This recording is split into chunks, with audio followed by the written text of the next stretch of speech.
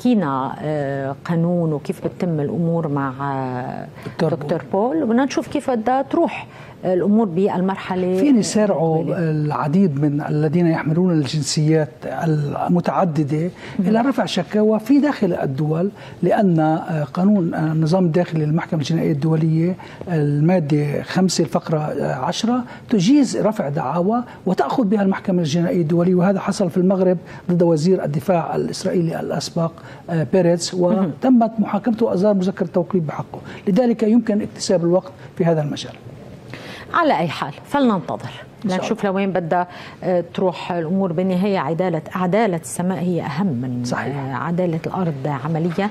لحتى لي اختم معك بما تبقى من وقت معي بعد خمس دقائق أو أقل شوي خلينا نحكي شوي عن آه، الفلسطينيين في لبنان عمليا. عم نشوف عمليات عبر الحدود عم نشوف عملية إطلاق صواريخ. شيء بيتبناها القسام شيء بيتبناها كتائب أبو علي مصطفى شيء بيتبناها هلأ دخلت كمان قوات الفجر للجماعة الإسلامية. الإسلامية آه، على الخط وغيرها من آه، آه، الفصائل. قديش هيدا شيء عملية استخدام الساحة اللبنانية شيء مفيد عمليا؟ وشو في دور فعلي للفصائل الفلسطينية في الشتات في لبنان وغيرها في هذه المعركة؟ النقطة الأساسية في هذا فضل. الموضوع أن ما يجري هو في إطار عمل موحد تحت سقف غرفة عمليات بقيادة حزب الله.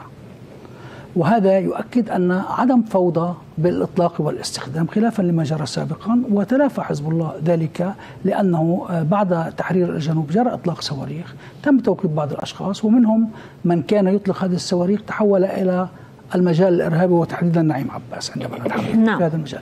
اليوم حزب الله عندما يشكل غرفة العمليات جميع الفصائل الفلسطينية واللبنانية من يريد مقاومة العدو الإسرائيلي في إطار واحد موحد نضمن عدم أي خرق وعدم تجاوز. ما دام هذا موضوع في إطاره الموحد فهو في إطار دعم النضال الفلسطيني وغرفة العمليات هي تحدد الآليات في سواء في الجنوب اللبناني ومن النقورة إلى مزارع شبعة المحتلة وصولا ربما إلى الجولان والقنيطرة والتي تشهد للمرة الأولى مثل هذا التصعيد. آه، الفلسطيني في لبنان هو في هذا الإطار. لن يكون منفردا ولنعتبر أن الفلسطينيين على الساحة اللبنانية هم لواء موحد في خدمة المقاومة بمواجهة الاحتلال والعدو الإسرائيلي. نعم. أي فلسطيني يمكن أن يساهم بأي عمل وهو ينتظر هذه اللحظة هو على استعداد لخوض هذه المعركة ولكن ليس منفردا ولا فتح طيب، جبهة سؤال مستقلة بل في إطار أوكي. موحد. سؤال هيك اعتبره مارق. طيب اليوم عم تطلع صلية صواريخ تنقول عشر صواريخ بتوقيع قوات الفجر. كم صاروخ بتوقيع القسام كم صاروخ بتوقيع الجهاد؟ وما إلى ذلك. شو بغيروا بالمعادلة؟ غير إثارة الجدل واستفزاز أطراف لبنانية أخرى. موجودة ترفض هذا الأمر. حزب الله أوكي حزب الله مقاومة. حزب الله عم يعمل عمليات جدية. هذا هذا أكبر رد على بعض هذه الأصوات التي تسعى وتنتظر ربما الدبابة الإسرائيلية تغيير الواقع. م. نحن مع شمولية المقاومة في فلسطين مع شمولية المقاومة في لبنان.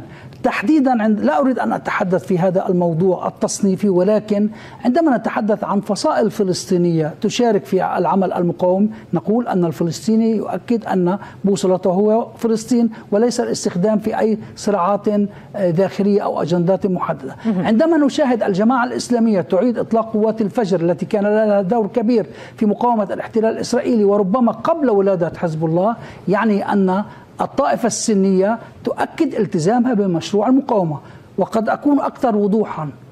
غدا ربما سنجد فصائل ذات صبغة مسيحية تشارك في هذا العمل. شو يعني شو؟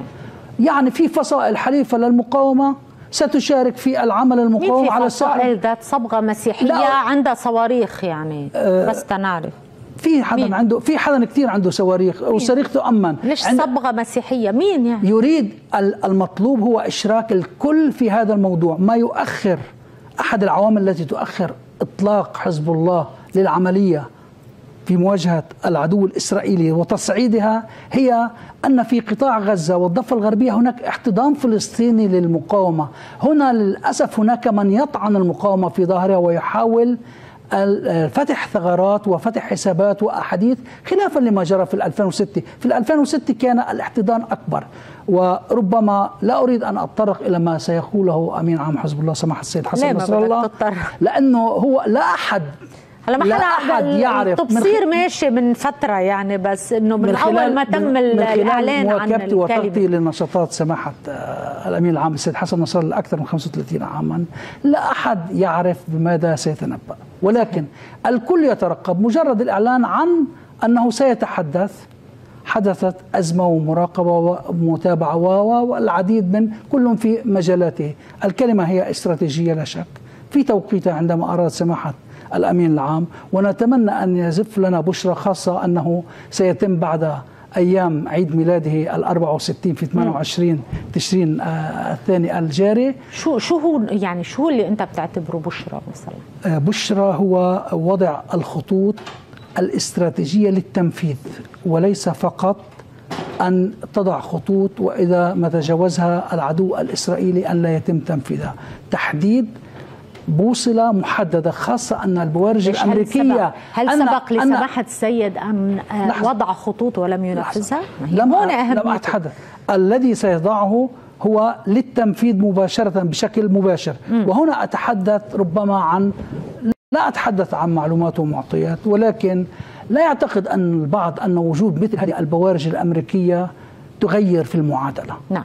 أتت إلى لبنان وشاهدنا ما حصل في المرنج وكان حزب الله في بداية عندنا تجربة نيوجيرسي وغيرها. هذه البوارج بأكبرها التي تبلغ 12 كيلو 12800 متر.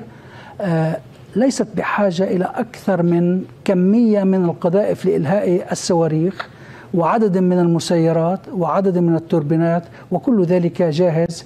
رهن الإشارة. لذلك ربما تتجاوز المعركة حزب الله والساحة اللبنانية إلى حرب إقليمية. الجانب الإيراني في هذا المجال ربما لن يفوت ويدخل هذه الحرب بشكل مباشر لأن ذلك يحتاج إلى فتوى من السيد علي الخامنئي. وإيران تدعم القوى في لبنان في الجولان وتسعى السوري إلى عدم توسيع الحرب. الأنصار الله في في اليمن, اليمن والعراق وحتى في فلسطين. حتى لا نؤول ونعول ونحلل ما يمكن أن يقوله سماحة الأمين العام لأن كلامه له الكثير من المدلولات. في هذه اللحظة الدقيقة المفصلية الكل يترقب وليبقى العدو الإسرائيلي في حيرة من أمره. ماذا سيكون إلى نعم. ما بعد؟ تل أبيب وربما إلى ما بعد بعد إلى النقب.